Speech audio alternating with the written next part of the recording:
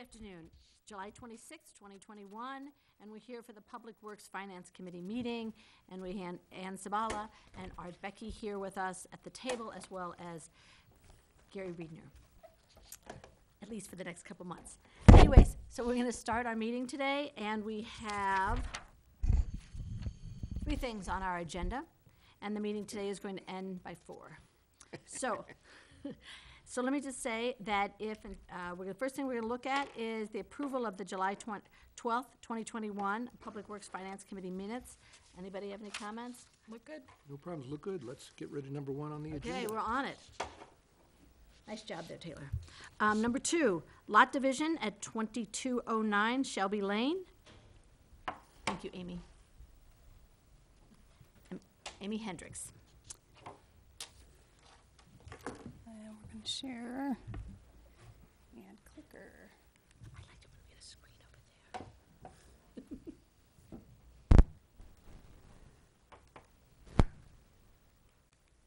Okay. Gary, is she in your way? Just fine. Clicker never likes me. There, maybe it went. Clearly has power.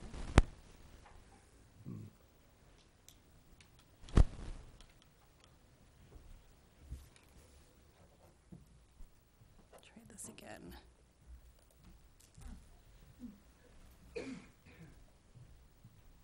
Is the switch on the side of the remote on? Yeah, it did that a couple times. Well, battery could be dead. Do you want me to commandeer from over here? Yeah, that'd be Okay. fine. All right, We'll change the batteries next we'll time. just switch on through. Okay, so for your consideration today, we have a lot division for 2209 Shelby Lane. Uh, This property is just uh, south of Joseph, um, accessed currently off of Shelby um, to the, uh, just west is uh, El Cajon, the cul-de-sac. The lot currently is twen- just over 24,000 square feet. Um, Its current zoning is R1. Um, If it were split into two, as today's propo- proposal uh, uh, is put forth, each lot would be just over 12,000 square feet. Um, One would be accessed off of Holiday, which is currently um, a a dead-end street. The other would be accessed off of Shelby Lane. Um, This is in the low-density residential district, R1, with lot, uh, front, or lot widths at a minimum of 80 feet. Uh, Lot area, a minimum of 9,600 square feet. And flag lots are required to abut a- a right-of-way by 20 feet, and the flag portion of the lot should be no longer than 150 feet. Uh, Here is a survey conducted of the subject property showing that uh, flag lot. There is a utility easement, a 20-foot utility easement that runs on the eastern side of that portion of that lot. Um, So uh, because it meets all of the requirements of the zoning, staff has recommended this lot division uh, for approval with no conditions. I'm happy to take any questions you might have. Could you go back to the slide that showed the three conditions? Absolutely. Okay. And the flag portion of the lot is how long? The flag portion of the lot, uh, zoning standards and fire safety uh, require that the lot, that, that portion be no longer than 150 feet. Um, As you can see in the survey here, uh, the shorter portion where, where uh, the, the, where the flag opens up, um, it is 125 feet Okay. until that portion. Thank you. Could you go back to the slide that actually showed where it was being divided and how it was being divided? Absolutely. So basically, you, it extends Holiday Street. Correct. Okay. Yep, that, that lot will, will abut that right of way Okay. and be accessed at that point. So on the, our right side, they will have no access to get to the Shelby. Correct. Okay. Hmm. Okay. And where's the access for the southern lot? I know For you the, said, the but- southern portion, the lot that's twelve thousand two hundred and fifty-one, Yep, so that access is off of Shelby, it'll be that flag portion. Um, it is twenty feet wide to uh, accommodate fire vehicles and, and a driveway up. okay, so if it's coming in on that, that's over the top of the utility easement, isn't it? Correct. Is there some kind of agreement with the owner as to if the city has to tear it up to get the, the underneath, that the owner is responsible for fixing their own driveway? Right, that's something that's handled as, as the development um, is proposed. Uh, Engineering will look at that and ensure that there's no portion of the building that's on, within that public utility easement. Um, And the driveway itself, I believe there's a, an access agreement um, saying if they, if they need to access what's underneath to, you know, if there's a, you know. So is there a hold city harmless clause in there that if the city has to dig up a driveway, that it's not the city that is on the hook to fix it the way it was, if it was made of decorative brick or something like that? I think Bill- So the city is always responsible for, for surface restoration if we need to access any of our utility easements. So the utility easement gives us the right to have our underground utilities across the property, but it does, does not deny the owner the ability to use the property or to do any surfacing or landscaping. So if we have a break that we need to do repair, we are always responsible for that surface restoration work to bring it back to the prior condition. And that's standard for all utility easements. Yeah, we usually want to make, well, we want to make sure people don't put buildings on top of it.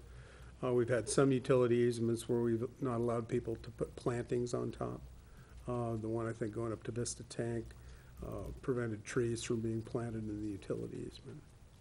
I was just curious on how wide that road is, because if they actually have to dig up that road because of some problem underneath it, where the easement is, I guess my concern is, is does it block the road? And if it blocks the road, where do those people get out? There's no other way to get out except through that road.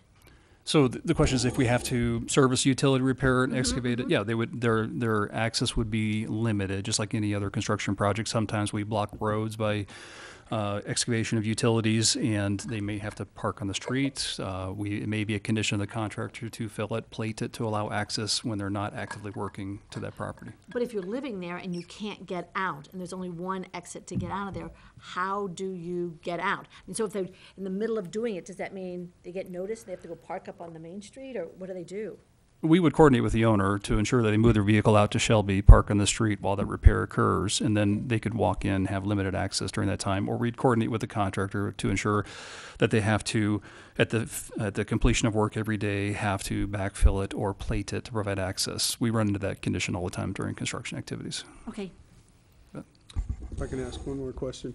So Holiday Street is a public right-of-way, correct? Correct. So there is no cul-de-sac, it fires fine with it being just butted up against the property? You don't have to do a turnaround unless the length is, the street length is over hundred and fifty feet, which that is not. Uh, when Shelby was platted with the Southgate addition, the extension of Holiday was prohibited, um, based on the lot layout at that time. So we were, it was known Holiday was not going to extend in the future. Uh, given the fact that this would only access one lot at the end of Holiday, the other lots already come off El Cajon, there'd be no need for extension of the roadway, and you really could not construct a cul-de-sac with the existing structures where they are now. Sure. Okay, thank you. any other questions? No other questions? The easement issue was explained. Okay, uh, uh, do we approve it? Yes. Okay, and on consent agenda? Okay. I- Oh, did you have another one? So I've never, my name's Doug Schumacher. Hey Doug, walk up there to this thing, Or and better yet, come over here to this chair right here. whichever one you're more comfortable with. Never been to the city of Kansas. Come on up. So either they would just have to get you on the mic, tell us your name, where you live. Uh, I'm just- sitting down. Uh, just we to have to get clarify. you on the Yeah, microphone. my name's Doug Schumacher. I live at one thousand four El Cajon Street. I've owned that property for about seven years now. So if, it was kinda handy having the map up there, but, uh, We can pull it We back can up. put it my back up. property is bordered by three streets. It's a kind of unique piece there. It's by Joseph, El Cajon, and Holiday. And, uh, my biggest concern, like I said, is, is that if you do this, um, and then you, I, I, I don't where- really know what. Where are you located? Let's just get yourself located up there for me right for a here. second. Yeah, that's my house right there. Okay. Okay. and I've lived there for seven years, me and my wife. And, uh, you know, there's a few things that I, I'm concerned about, but, um, you know, one being if you split this lot that, you know, initially this lot was a Shelby or Cambridge split lot line up or for us. whatever. Um, you know, it belonged to the subdivision to the top. You know, El Cajon is a pretty quiet little cul-de-sac street. Um, and anytime you add a, a dwelling, you, you can figure there's two to three vehicles per dwelling on average. Um, you know, and my biggest concern is that, and you were questioning that, that access for that second lot, that, you know, when I see no conditions when you split it, but then my concern is sometime down the road, is somebody gonna come in and ask you, well, can we do this? And figure out how to hook that back one to El Cajon and throw another, so then both those lots would eventually access off El Cajon, and that's number one, my concern, um, because I've seen a lot. I, I come from, born and raised in Bozeman, Montana. Been, been in the Palouse for about eight years, and, uh, if you know anything about Bozeman and change in the last twenty years, um, I've seen a lot of it, and, uh, seen a lot of things get, go through city councils when nobody really pays attention to them.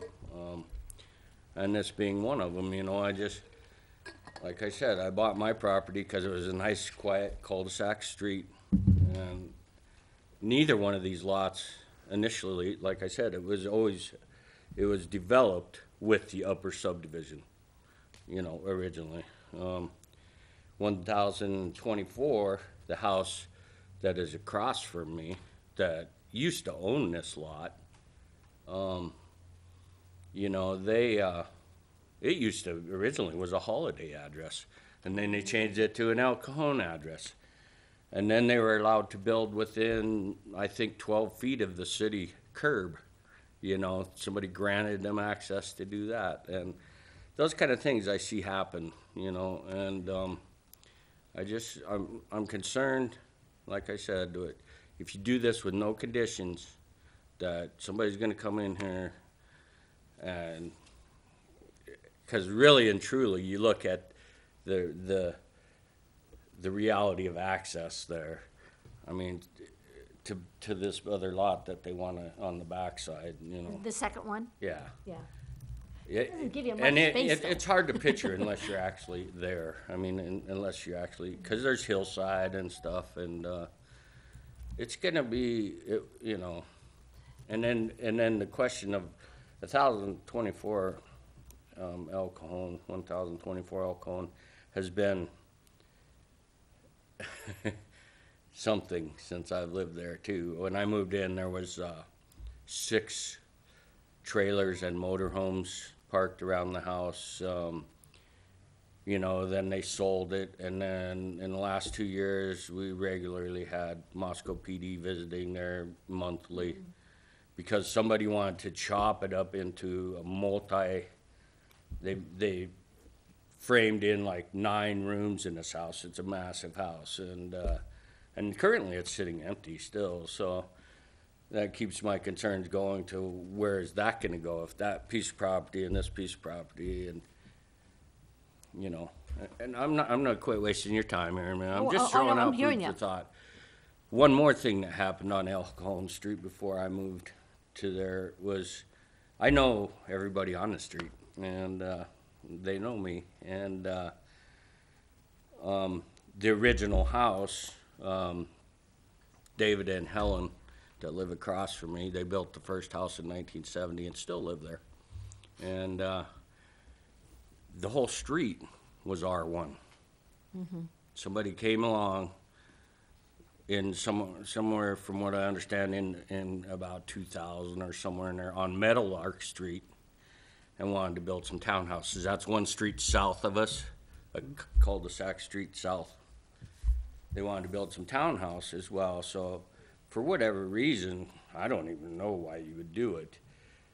They changed, and you can see it right there in the blue. They changed the R2 clear to half of El Cajon Street too. David, st- he still hasn't even been able. My neighbor really, you know, he's an elderly gentleman. He hasn't really been able to, con, you know, tell me why they did that. You know, I mean. But the good news is, is that you're clearly the neighborhood watchdog, and I think that's a compliment to you. And the issue is they can't make any changes with respect to zoning or, or changes with respect to what is authorized by the code without coming back here. And if they do that, you'd clearly get notice. And so the answer there seems to me that, um, You just gotta s- s- keep being the neighborhood watchdog to see what goes on. But at this point, it's hard to put conditions on it that we don't know, we don't know exactly what those would be. You know, you can't change the zoning code. I mean, that's just, that seems kind of like we can't really do that. We take the issues when they appear in front of us. And also relative to uh, the southern lot, the uh, 251 square foot one, uh, accessing El Cajon, I don't think that's feasible, given the shape of that lot, because it, there isn't enough space to run a tricycle through that pointy end onto El Cajon. That would mean that they would have to work in agreement with whoever owns that chunk further south uh, Yeah, to and- get through, and so I don't see that as a possibility of happening. Without some change. It'd Without have some to be a changes. big change. And then you'd have to get that changed, and I think, You know, it- one, another thing, even the, the young couple that just went in and built to the, the access off that twenty-foot road that goes in to the west, kinda southwest there, they built in there. Yep. On R two, a beautiful new R one home. Yeah, you can see it from That was Heron- quite a statement there, You I can think, see it too, from you Heron's know. hideout. It's You quite know. well done. So, um, so we hope you get that for the next time, the neighbors that you want. Yeah, you know, I just, there's plenty of other pe- places, like I said, from where I come now. They build, you build and, and go R two, R four, you can shake your neighbor's hand through their bedroom windows, um, you know, and I just would hope, that's my concern, and there is another thing too with my lot, um, that lot that, that is gonna access off a holiday too. I've sent pictures to the, I'm not the neighborhood watchdog either, I just, I like, Well, I don't mean that as a bad term at all. Every neighborhood wants somebody that's. but that lot drains, that whole lot drains onto my lot. I can, Hmm. I have video pictures Mm-hmm. of it draining because it's just all natural at this point, and it misses, there's curb and asphalt up to the property line, um, on Holiday. Uh-huh. And sidewalk. My house is the only one that has sidewalk and curb all the way around there too, but, uh, um, you know, the water comes down and goes this side of the sidewalk and through my yard and rivers down, you know, and I would hope that if you do grant somebody to access that is that a condition, that he would establish some kind of curb and gutter Right. into his property to, So when that comes up, you come back to visit us. I think it's okay? part of the It's- code already that, one, you have to establish the street frontage there, and two, you can't be letting runoff from your property go off onto somebody else's. So that's, I- I'm pretty sure, Bill, save me. So they'll have to uh, collect and convey their stormwater to uh, whatever is the receiving stormwater system that we have in that area. Um, You know, water does flow over land, so if you have a sloped lot that slopes down to an adjacent lot, you're not going to stop that. You cannot collect and concentrate a discharge where it would create uh, damage to the adjacent property. But they'll be required to connect uh, all of the the gutters on the roof and the hardscape uh, and collect that to the stormwater uh, conveyance system. I just also want to tell you, I did not take that term as a watchdog, as a negative term at all. Every neighborhood likes to have somebody who keeps an eye on what's going on. So, good, I hope we don't have to see from you again, but if you have another issue, come back and see us. all right, well, thanks for listening to me. Sure. Okay. Got one more. Oh, you do? Okay. Yeah. Oh, I'm So sorry. Thank you. I also own property that, um, my name is Kate uh, Loiacono, and I'm here with my husband Jeff. And then, um, on behalf of a couple neighbors, unfortunately, we all couldn't be here today just due to the nature of like during the workday. Um, our property, Jeff and I's property, is on Cambridge, and so it's twelve, the twelve thou, the back lot there essentially twelve two five one square foot. Um, the home that's on the most, um, there kind of is bordering that. And um, I think we just kind of have concerns about property values and the way that this is all structured. If you look at the homes in the neighborhood, they're all kind of a similar size, um, with a similar size lot. And by cutting this down, we're, we're cutting down the size of the lots.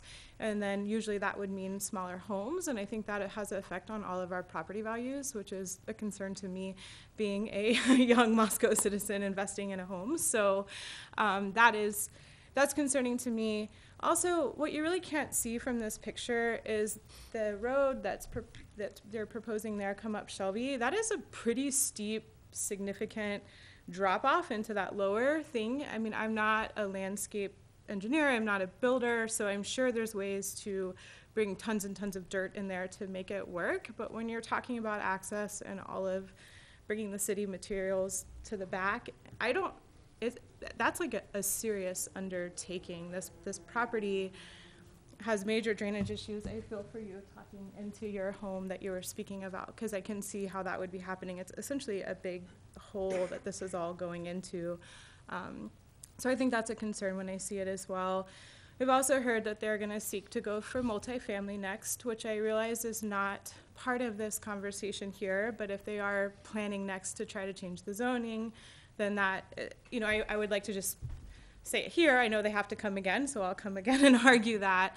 Um, and then the, the property at the end of El Cajon that also is on Cambridge, you can see there that there's nothing developed and that's also for sale. So there is an opportunity here to actually connect all the lots, um, and, and perhaps go after something different as well. So there would be opportunity to join the back 12,251 square foot with the larger property that's for sale off Cambridge. I have heard, but I have not been able to find if this is true or not, that at one point, the people have access off Cambridge to that empty lot. They're asked for access off El Cajon, but were denied. So I, but I'm not sure if that's true, and I haven't been able to see. But I think there's a lot going on here. My biggest concern is property value and what would happen. Um, I'm happy to have new neighbors build. I know that property is hard and it's find it hard space, but I don't see why there needs to be two lots. I think it really changes the face of the neighborhood, um, and so forth. So I might have missed some pieces. I think Marie is, um, yeah. If if you want to speak, you can come up and t- sit And in the her mic. just- property. Yeah, her property is part of the easement there that we're talking about. Um, she's on Shelby there, so it's a, access to that back property is really problematic if you're able to go look at it. I don't know how someone could possibly get back there consistently and safely. It's a steep, steep hill that, I don't know. There's a little road there, but it's certainly not twenty feet wide at its current state, so. So Amy or Bill, do we have any issues there with respect to the width of that road, or the drainage, or the incline? Does it conform with what we need to, it conform with? Thank you. We, we don't have a design uh, that has been brought forward to the city for review. Um, I think it's, it certainly is feasible to, to construct an access way there, and it doesn't have to be 20 feet wide. The city code requires that there's 20 feet of property that abuts the public street, um, but driveways can be as, as narrow as 12 feet for construction underneath the fire code. So um, they would have room to do retainage if necessary uh, to grade a access drive in there. Uh, would not have to occupy the full 20 feet in width. That's just a city code requirement for the lot frontage on a public street. And all storm drainage, as I mentioned before, will have to be collected and conveyed to the city's stormwater system.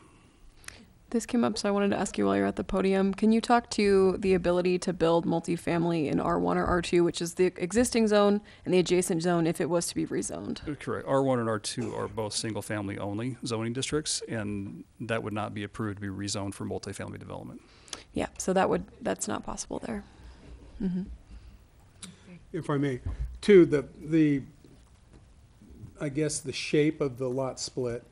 When you have different subdivisions come together, typically there is, there are pieces of property that don't fit well.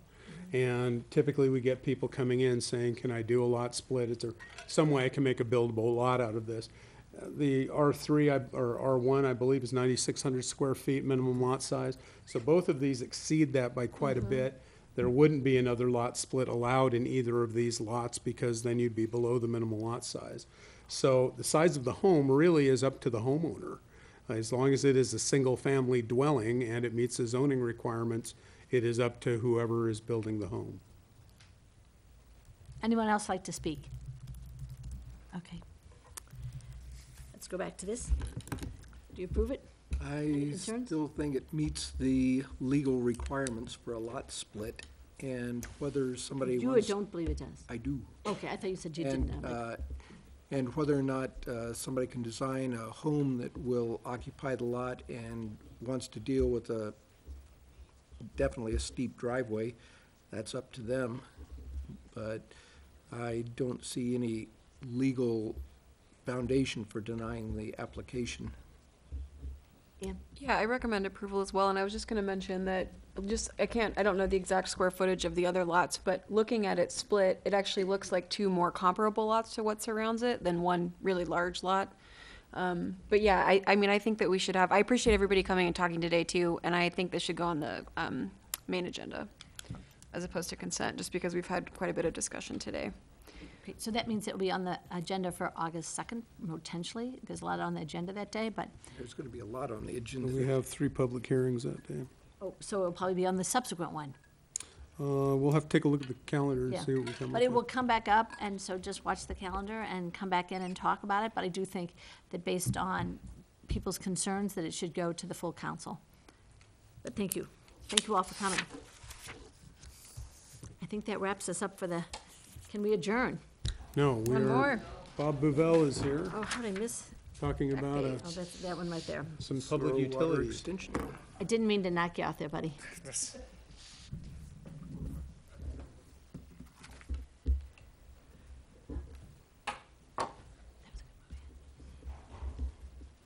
Thank you. Thank you.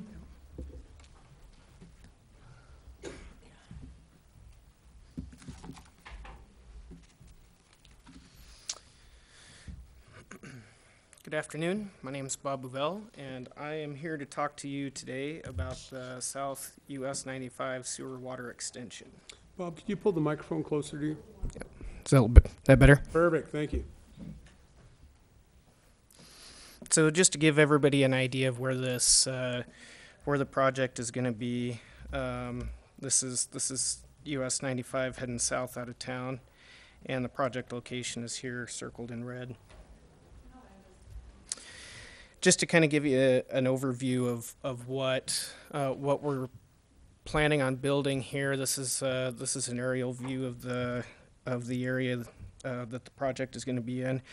Uh, I've got a couple of colored lines there that show the green line would be where the new sanitary sewer is going to be would be built, and the blue line shows where the new uh, water lines would be built. And also overlaid on this photo is the uh, the proposed alignment of the new uh, the new highway project heading south out of town. Uh, and then a, a couple other overview items. Uh, this project would build um, about 1,950 feet of sanitary sewer and about 950 feet of new water main. Can I just ask you a question when you're in the middle of that slide? Just Yeah. go back one. Those things that kind of look like bushes and they kind of go down and then they go across, kind of like a back bending L. Um, so what was that? Could you identify what that was again? Uh, so you're you're talking about in this area Yes. here. Uh, those are those are some existing trees that Oh, were planted along the uh, that existing farmhouse owned by the Clyde family. Thank you. Uh, just a little bit more background information. Um, extending utilities uh, south of the South Fork Palouse, South Fork of the Palouse River have been has been kind of uh, on the radar for a little bit, uh, for a little while, um, mostly for um, opening that area up to feasible development. The the creek crossing and the connection into the uh, into the lift station down there uh, it kind of creates a little bit of a, a problem for for development. Our lift station is currently right here, and so what that what that does is that's a a big tank that kind of collects sewage down in that that south area of town and pumps it up the highway and into the uh, to the intersection of Styner and US 95.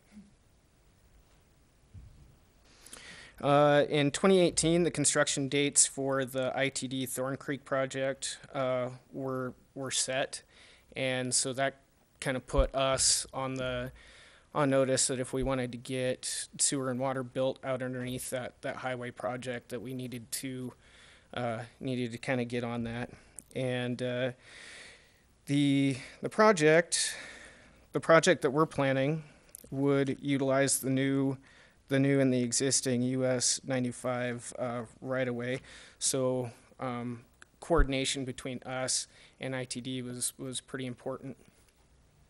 And if we were able to get our utilities built prior to the ITD project, it would ultimately save us quite a bit of money in restoration cost and possibly uh, right-of-way purchasing. And uh, I'm not sure if it was if it was COVID related, but the ITD project was then at some point got delayed an extra year, so we delayed our project an extra year. Um, budgeting for for the the project is has a story to it as well.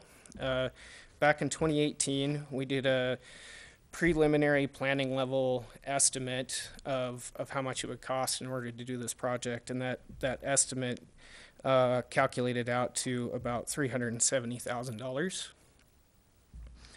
In 2020, um, the CIP program was updated for the new construction costs that we were seeing in 2020, and we increased the budget to $605,000. Uh, then in 2021, once we had the design finalized, plans ready to go, and we were getting ready to bid, we updated uh, the engineer's estimate with uh, up-to-date cost estimates and um, and some additional costs that that came up during the design process, and I'm going to talk about those in a little bit too. And so we increased the engineer's estimate to 874, almost 875,000. And in July, we opened the bids. Uh, in July, we you know we put it out to bid and we opened the bids.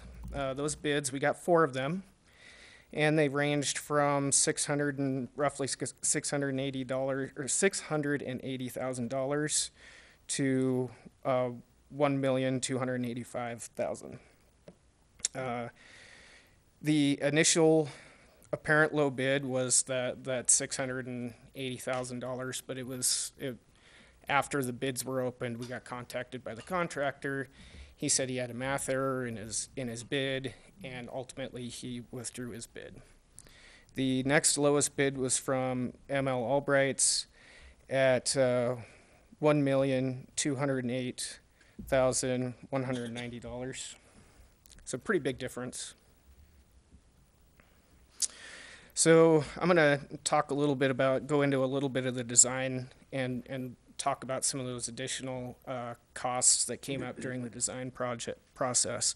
Uh, this is a, a, clip out of our out of our sewer comp plan, and when we when the comp plan was done, they the consultant that we hired kind of looked at some of the, the buildable area along the fringes of the of the city, and this is kind of the proposed layout that they put together for having a, a sewer line go out and, and service some of this area in that in in that area of town.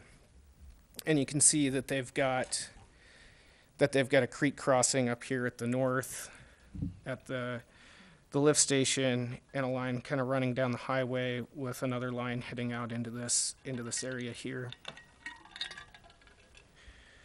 So when I went to do the design for this this project, I wanted to make sure that what I was building over here along the highway was going to be sufficient to serve this stretch out into here.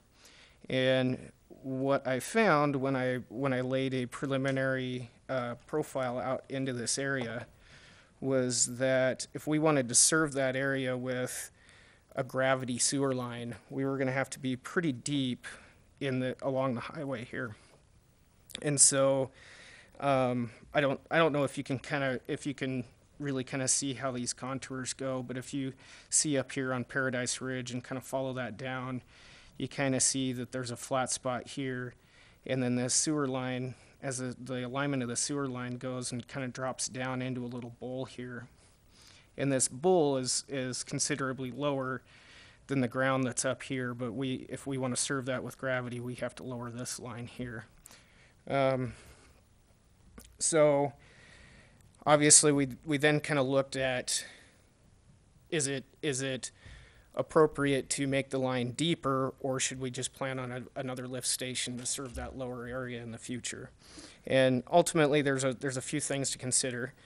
Um, the upfront cost of building that line deeper um, it wa- was something to consider. I think it was it wound up costing us probably between about a hundred to two hundred thousand dollars more to build that deeper, which, uh, depending on the size of the lift station, is somewhat comparable. But then, if you look at the other aspects of having a, a lift station, where you have uh, perpetual pump and motor maintenance, perpetual power costs, and you ultimately, when you put in a lift station, you wind up putting in two pipes. You wind up putting the gravity line that goes into the lift station and then the pressure line that comes out. So you have double the pipe that you have to maintain, build and maintain as well. And ultimately, we came to the conclusion that it was it would be in the best interest of of uh, uh, the sewer system to just build the line deeper now before the highway project comes in. Uh, another aspect of the line, of the project that got more expensive was when we initially scoped out the project at the planning level. We were gonna uh, we were gonna extend the 12-inch main uh, down to the edge of the highway project. Uh, the we came up with that 12-inch main based on the the comp plan that was done in 2012. Uh, that uh, that comp plan that did uh, kind of did an analysis of the fire flows in in the area didn't highlight that that 12 inch main as a potential problem in the future. And so initially we just planned on extending that same 12 inch main. Since that comp plan was done our water model has been updated um, quite a bit with new information that we've been collecting both at, uh, like changes to the infrastructure that we've found where the old model had uh, was had pipes in it that we later found to be abandoned and um, probably a big one was there's a a line that runs down Main Street, kind of down t- through downtown that we thought was still active. And it turns out that that main is, that has actually been abandoned. And so uh, all the flow that's kind of going south of town is going through one 12 inch main. So um, we updated the model. And then we also had to look at some new development that's coming into that south southeast quadrant, southwest quadrant of town. And uh, along with all of, so with the new development and the changes to the to the to the model, we decided to start doing some modeling specific to that southeast quadrant of town. And the consultant came back with a with a recommendation that we increase this pipe to a minimum of 14 inches. 14 inches isn't a very common uh, pipe size, so uh, we ended up having to expand it all the way up to 16 inches, which is considerably more expensive than a 12 inch pipe. So now that we've kind of gone over how we how we got to uh, a project that kind of that kind of grew on us, we'll talk about the funding for it.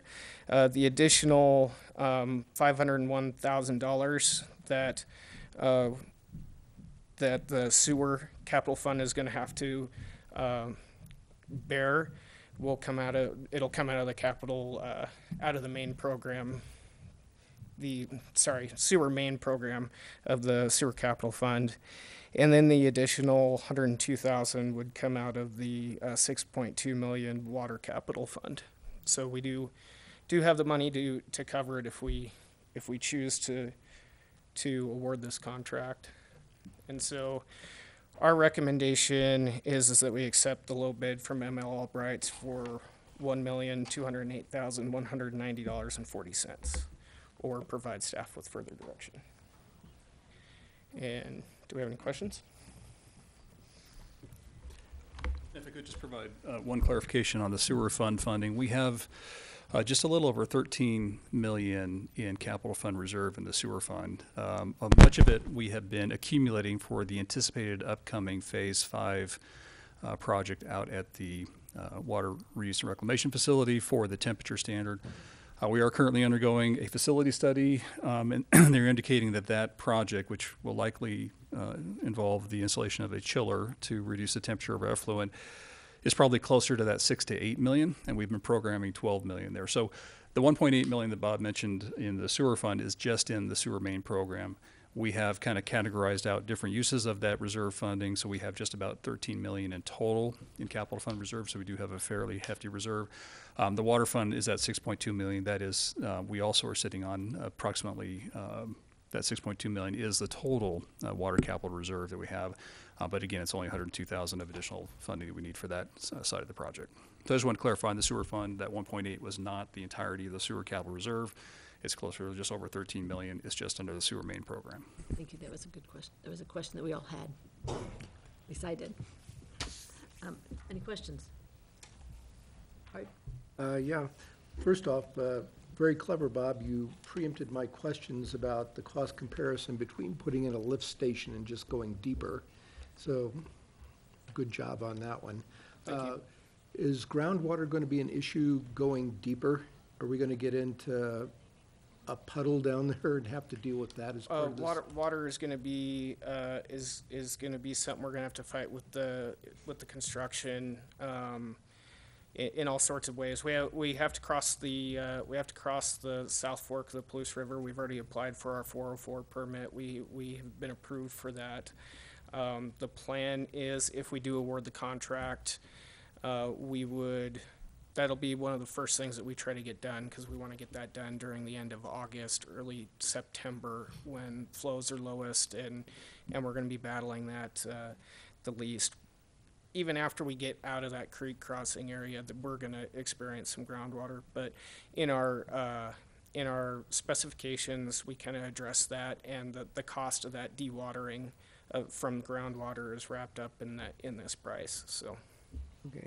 Yeah, other than the sheer sticker shock of it all, but, yeah, which seems to be more common than not. But, uh, That's- yeah, so do we know when ITD is planning to pull the trigger on their project? So the, the most up-to-date, uh, uh, uh, update I've gotten is, uh, uh, that they're gonna start next construction season. They're gonna start at the, at the north end, and, um, and then we'll start working their way south.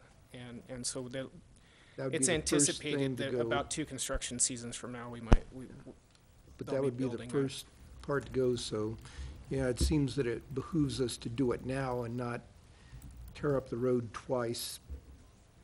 That was, that was Yeah. the, the idea. It's gonna be an expensive, a nice, brand-new expensive highway. We wouldn't have, wanna have to come back in afterwards and, and, Uh, And So I tear it up. misunderstood, when did you say we'd start this project if it's approved? uh, we, we would start this project this construction This- season. this Uh, August. It, uh, it, we've got the, the contract, the proposed end date for the contract that we have in, in the packet has a, completion date of mid-November. I'd have to look back in there to get the, the specific date, but mid-November. Um, at this point, what, I've been talking with ML Albrights about pipe prices and, and scheduling a little bit kind of ahead of, of this.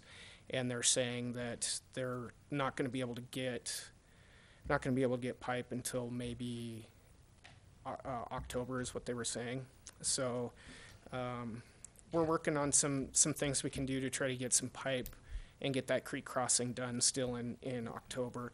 But it, our goal is to get it done by the middle of November, but it may wind up extending further than that if we give them additional time because they weren't able to get the materials they need. So, um, let me ask you another question, and that is, with respect to groundwater, and then what are we doing with that groundwater? That becomes a question, because water is such a big issue around here. So do we have an idea of how we preserve the water that's kind of getting displaced? So when, when we're talking about, when we're If it's talking about groundwater, um, it's, it's, it's enough water to, um, to disturb the construction practices, but it's not an awful lot of water. It's not like the same amount of water that you would see flowing down, it's like through Paradise Creek at the same time. So it's, we would be, we would be pumping the water out of the ditch and we'd have to find appropriate places for it. A lot of times, you know, in an area like this, we'll find it uh, like a well vegetated area and just pump a little bit of that water into a vegetated area where it's allowed to dissipate solids, dirt, mud, kind of filters out before it enters any water body or anything. And, and that would be the way that we, we would address it. It's, especially if we are able to do it in, in August, mid-September, that water level drops quite a bit in those months. And so theoretically, we'd be dealing with even less, less water, but we, it's a, it, it's a small amount of water. It's not, uh, not like bypassing a creek or anything, so, You've chosen a good year for dewatering the soils. yeah, yeah. So, Let me just you- ask you one other question. How long do those pipes last? This issue is if you're walking, if you're building those pipes through basic groundwater, uh, so that, how long do they last before they can contaminate, any kind of sewer water could contaminate any groundwater?